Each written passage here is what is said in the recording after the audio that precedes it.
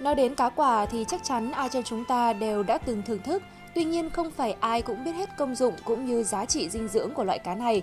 Được mệnh danh là loại cá giàu chất dinh dưỡng, thịt cá quả có ưu điểm thơm ngon và dễ tiêu hóa. Khoa học đã chứng minh trong thịt cá có nhiều thành phẩm dinh dưỡng như vitamin A, vitamin D và vitamin nhóm B, enzyme, khoáng chất, axit béo không bão hòa và protein. Cá quả có rất nhiều cách chế biến khác nhau như nướng, lẩu, hấp, xào kho, chiên. Nếu muốn thay đổi khẩu vị để thưởng thức một món ăn đậm chất dân dã và mộc mạc nhưng không kém phần hấp dẫn, bạn nên thưởng thức món cá quả nướng lá vọng. Tuy đơn giản, mộc mạc, nhưng món ăn hấp dẫn ở vị ngọt tươi nguyên của cá được giữ bên trong mình, cùng hòa quyện với mùi thơm của lá vọng, ăn kèm chung với các loại rau thơm và chấm cùng nước mắm nêm đậm đà thì còn gì bằng. Với giá trị dinh dưỡng cao có nhiều công dụng chữa bệnh, cá quả nướng lá vọng chắc chắn sẽ là sự lựa chọn thông minh cho người nội trợ khi chọn món ngon bổ dưỡng đổi món cho bữa ăn gia đình ngày cuối tuần.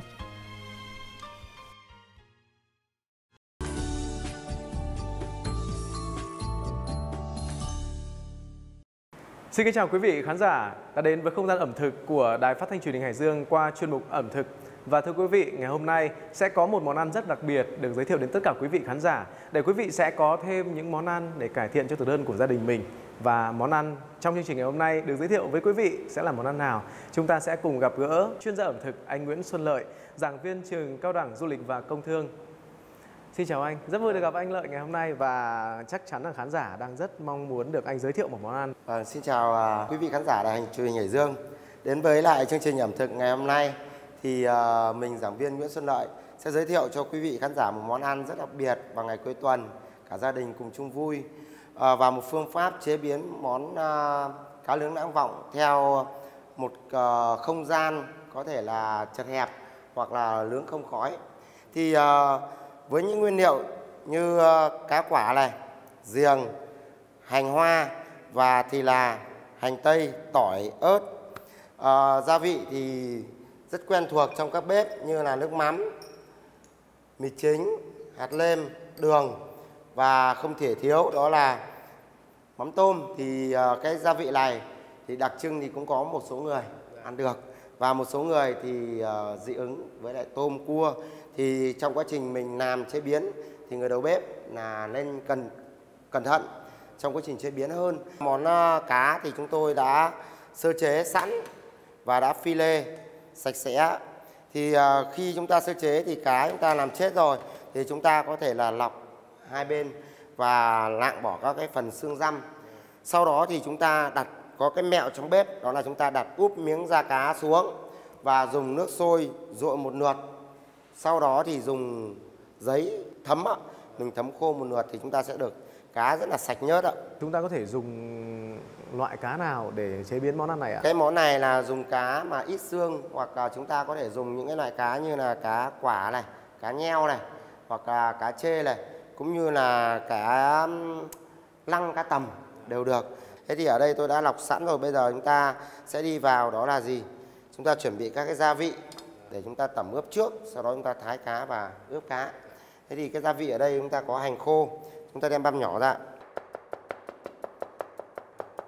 Chúng ta chuẩn bị à, hành khô tỏi khô băm nhỏ và ớt một trái. Thế thì gia đình mà có trẻ nhỏ thì chúng ta bỏ cái phần ớt này đi.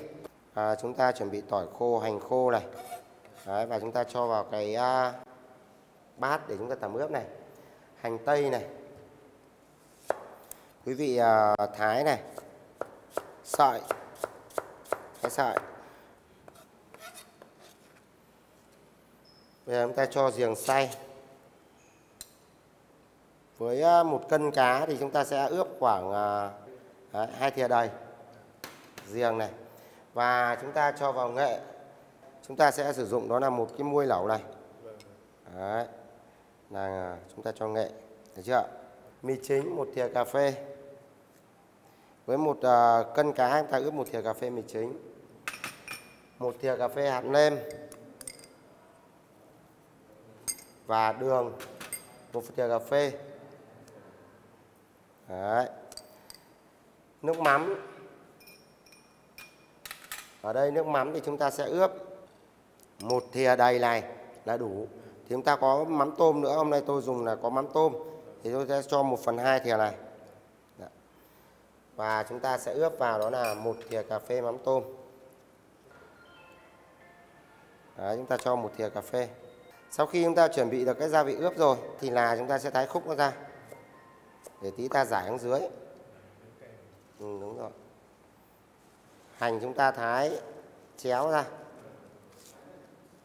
Cá sau khi đã sơ chế sạch chúng ta cắt miếng làm sao cho nó vừa ăn. Hình con chì. Đấy, hình con chì thì chúng ta sẽ cắt miếng khoảng 4 cm sau đó chúng ta xoay dọc chúng ta thái.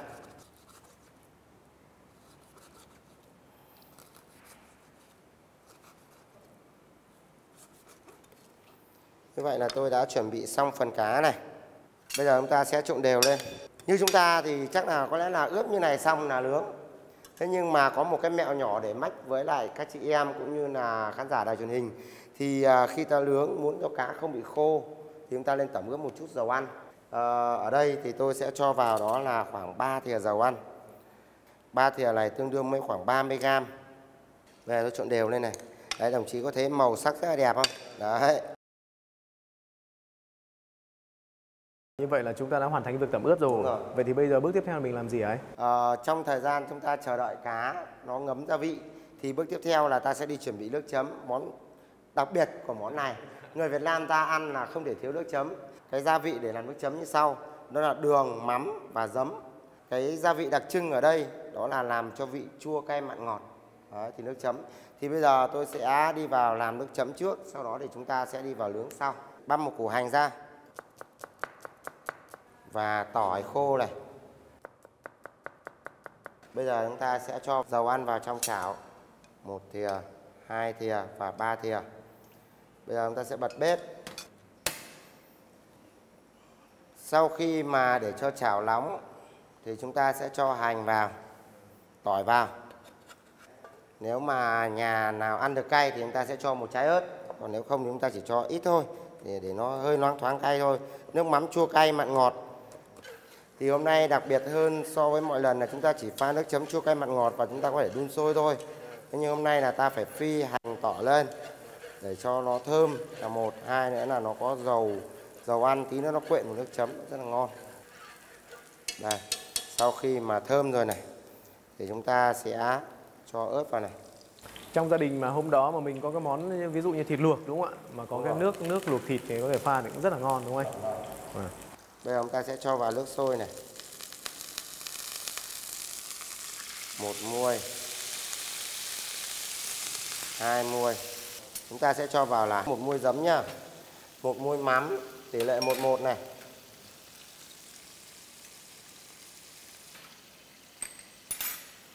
Một muôi đường. Đấy, bây giờ chúng ta sẽ đánh nó lên.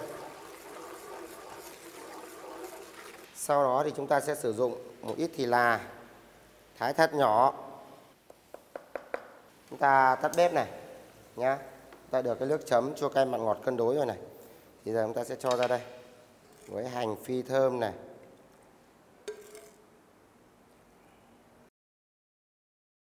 Sau khi đã làm xong gia vị nước chấm rồi thì chúng ta sẽ đi vào nướng cá. Món nướng ấy, thường là phải nướng bằng than hoa thì mới thơm và ngon, đúng không ạ? Thế nhưng với cái thời buổi xu thế hiện tại là chúng ta ở khu chung cư là một này. Hai nữa là chúng ta ở nhà ờ, nhà lô, nhà luông, không khí chật. Thì ờ, chúng ta mà sử dụng than thì khói mà hai nó gây cháy nổ rất cao. Cho nên là đa số chúng ta sử dụng cái lò lò nướng điện. Bây giờ thì chúng ta sẽ bật nhiệt độ là ở khoảng 200 độ và chúng ta đặt chế độ là khoảng 15 phút nhá. Và bây giờ thì tôi sẽ lấy cái giá nướng ra. Bây giờ là chúng ta sẽ giải cái phần mà chuẩn bị sẵn lên đây. Đó là thì là và gì ạ? Thì là và hành. Chúng ta sẽ chuẩn bị lên đây ạ. Sau đó chúng ta dưới lên một lớp dầu. Nhá. Đấy. Cá chúng ta đã ướp đủ thời gian là 15 phút, đúng không ạ? Thì bây giờ chúng ta sẽ xếp lên đây ạ.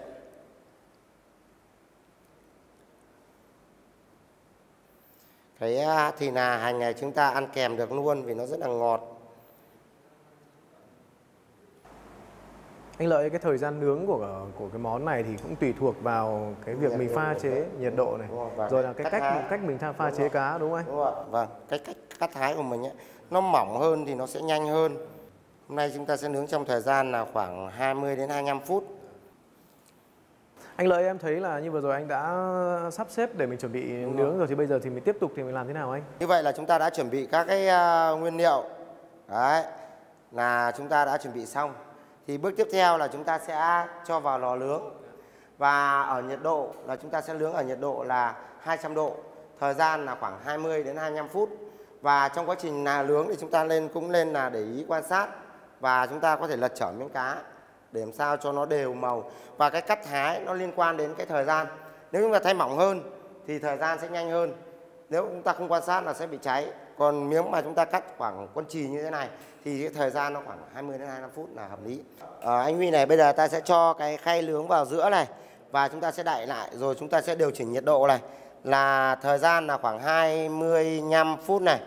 Và nhiệt độ là 200 này sau khi ta cho cá vào lò nướng thì bây giờ chúng ta sẽ chuẩn bị đó là gì? À, chúng ta sẽ băm một ít hành tây nhỏ ra. Sau đó chúng ta sẽ phi dầu lên và chúng ta cho cái nước ướp cá này vào chúng ta đun sôi lên xào nó chín sôi lên và nó hơi sánh sánh lại. Và chúng ta tí nữa cá nướng xong xếp ra đĩa chúng ta khi nào ăn chúng ta dưới cái nước sốt nóng này lên thì cá sẽ quyện vị là một hai nữa là nó béo ngậy là hai nó không bị khô cá. Cái quy trình của món chả cá lã vọng đó là cái khi chúng ta ăn ở bờ hồ á, ở trên hồ Tây đấy thì họ sẽ có một cái đầu bò tức là đun ở nhiệt độ cao. Sau đó thì họ sẽ lấy cái nước này họ trộn với bơ họ dưới lên làm cho lúc nào cũng nóng miếng cá lúc nào cũng nóng. Thì à, món cá thường là ăn nóng thì nó sẽ không tanh.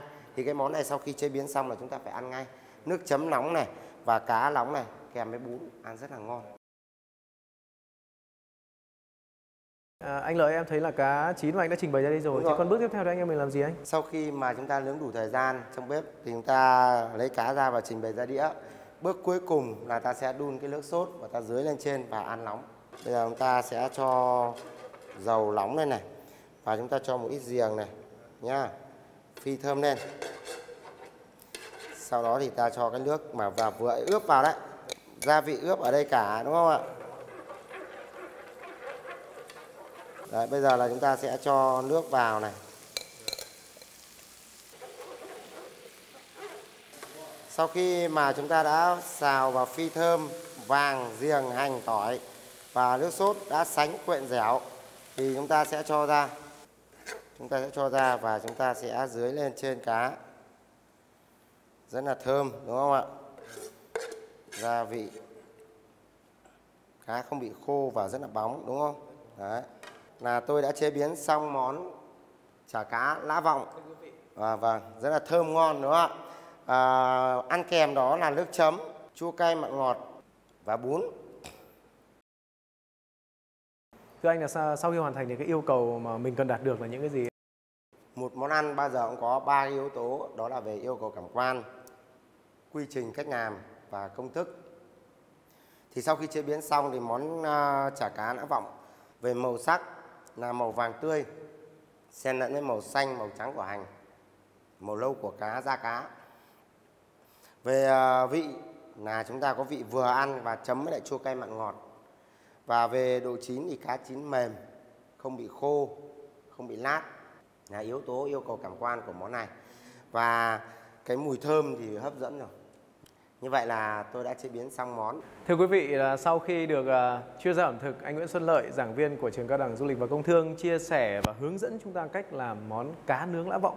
Hy vọng rằng là đây sẽ là một món ăn mà các chị em nội trợ sẽ đưa thêm vào thực đơn của gia đình nhà mình để làm phong phú thêm thực đơn của gia đình cũng làm cho à, những cái buổi tiệc, những cái bữa ăn của gia đình thêm à, đậm đà hơn đúng không anh? đúng không ạ? Vâng. Vâng. Vâng, xin cảm ơn anh Nguyễn Xuân Lợi rất là nhiều đã chia sẻ trong chương trình hôm nay. Cảm ơn quý vị và các bạn đã quan tâm theo dõi chương trình. Xin kính chào và hẹn gặp lại.